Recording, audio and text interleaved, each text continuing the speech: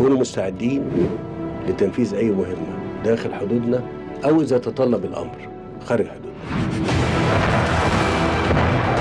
إذا كان يعتقد البعض أنه يستطيع أن يتجاوز الخط سرت الجفرة ده أمر بالنسبة لنا خط أحمر.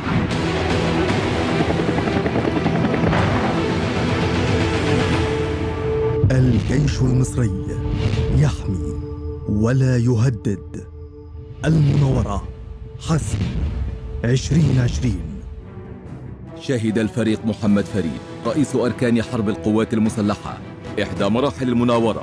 حسم 2020 والتي نفذتها تشكيلات من القوات البحرية والجوية والقوات الخاصة من الصاعقة والمظلات والقوات الخاصة البحرية وذلك في إطار خطة التدريب القتالي لتشكيلات ووحدات القوات المسلحة. بإحدى المناطق الحدودية على الاتجاه الاستراتيجي الغربي. بدأت المرحلة بتنفيذ مجموعة من الضربات الجوية المركزة من خلال عدد من الطائرات الهجومية لمراكز قيادة العدو.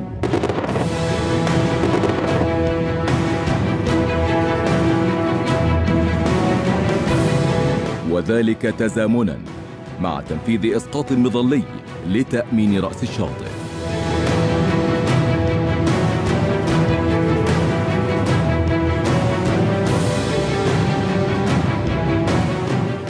كما نفذت الوحدات البحرية عددا من الأنشطة التدريبية في إطار العملية البرمائية ضد الأهداف السطحية الغير نمطية تضمنت تنفيذ رمايات للمدفعية البحرية بالأعيرة المختلفة. والضغط على الغواصات المعادية بمناطق عملها بواسطة قذائف الأعماق الصاروخية التي أصابت أهدافها بدقة مما أجبرها على الهروب وعدم تهديد التشكيل البحري. كما نفذت مجموعة من القوات الخاصة البحرية إغارة ناجحة على هدف ساحلي وذلك باستخدام الزوارق السريعة التي تم دفعها من على متن حاملة المروحيات من طراز مسترال.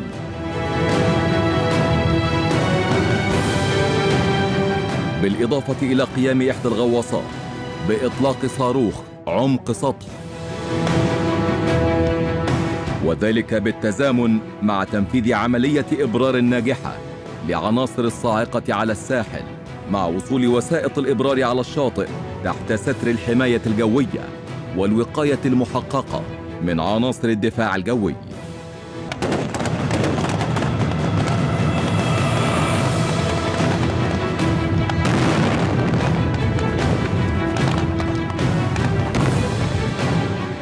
واختتمت الفعاليات بإطلاق الوحدات البحرية لعدد من صواريخ الهاربون والهاربون المكبسل من المدمرات والغواصات.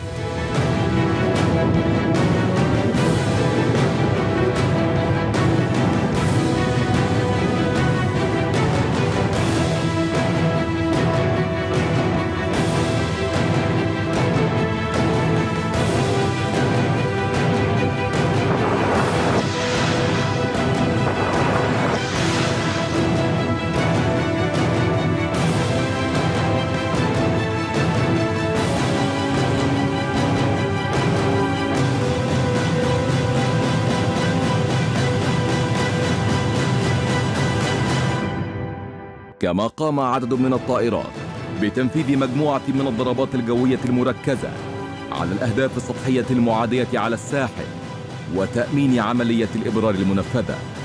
كما تفقد رئيس أركان حرب القوات المسلحة القوات التي تمكنت من الاستيلاء على رأس الشاطئ وناقش القادة على كافة المستويات في أساليب القتال وأنسب أسلوب لتحقيق المهام في أقل وقت ممكن وبأقل خسائر ممكنة.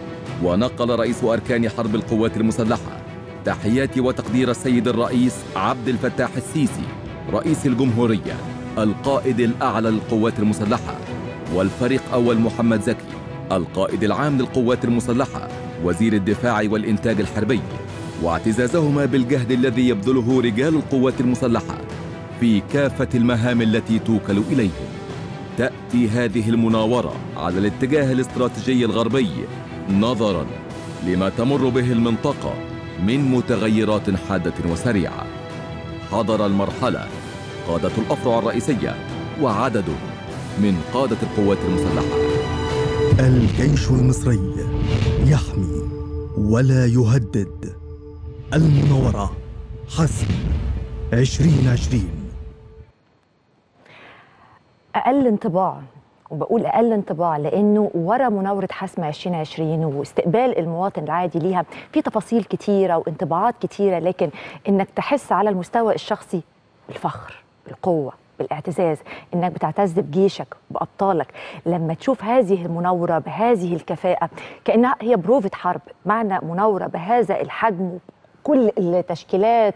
بنتكلم على قوات بحرية وجوية قوات خاصة من الصاعقه قوات خاصة بحرية آه والمظلات. يعني بتتكلم على وطبعا إحنا عارفين إحنا على الاتجاه الاستراتيجي الغربي والرئيس عبد الفتاح السيسي وإحنا بنتابع أهو على في المشهد قدامنا إنه كان بيقول آه على الجميع الاستعداد لأي مهمة تطلب من قواتنا المسلحة في داخل حدودنا أو خارج حدودنا إن الأمن القومي المصري آه بنصون أمننا وحدودنا ومقدراتنا والتهديد اللي جاي لنا طبعا من المشهد الليبي وتدخلات لأطراف إقليمية والنظام التركي.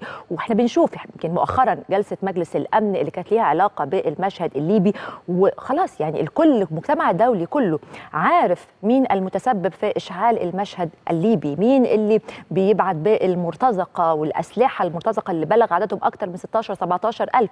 والمجتمع الدولي وكنا سامعين طبعا الكلمات المسؤولين يعني فين الإدانة الواضحة؟ فين التحرك الواضح؟ فبالتالي أنت لا تملك غير أنك أنت تحمي نفسك. حقنا الشرعية الدولية زي ما قال الرئيس عبد الفتاح السيسي اللي أصبحت بتمثل لينا الركيزة لأي تحرك إنك بتحمي نفسك وبتحمي حدودك في ظل غياب المجتمع الدولي. خلينا نقولها بشكل مباشر إحنا بقينا بنسمع بس هي جمل إنشائية ومش عارفة إيه وحظر السلاح ونرفض التدخلات الإقليمية لكن بوجود بدون وجود أي نية حقيقية أو أي تحرك أو أي قرار ينفذ على الأرض لوقف المهزلة اللي بتحصل في ليبيا وتدخلات طبعا الفظيعة اللي بتتم على الأرض هناك.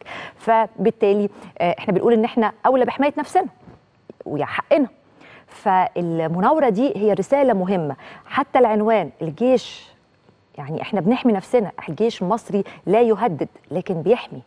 بيحمي امنه وحدوده ومواطنيه فبالتالي المناورة دي مهمة ووراها أهداف كتيرة ورسالة لمن يهمه الأمر ورسالة لأي حد عايز إن هو يعبث بأمننا وبحدودنا وبمقدراتنا وبثرواتنا. وإحنا عارفين طبعا أطماع الجانب التركي في المياه الاقتصادية في البحر المتوسط وفي النفط أطماعهم في النفط الليبي وأطماعهم كمان في الغاز غاز البحر المتوسط. فبالتالي هي رسالة وتحرك مهم وقوة الردع وإنك تقول إنك تملك الجاهزية والاستعداد.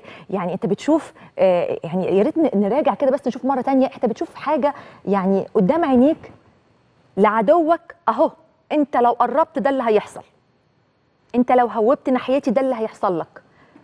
ربنا يحمي ولادنا يا رب وجيشنا و... و... وإن شاء الله يا رب إن شاء الله نفضل دايما همتنا مرفوعة وحاميين نفسنا وحاميين حدودنا. ولما بنقول إن كان في استشراف وبعد نظر لما اتكلمنا على التسليح وتحديث التسليح و... وال... والفرقاطات وال... وحاملات الطائرات وكل الكلام ده كله وت... وتسليح البحرية كان ده لوقت معلوم.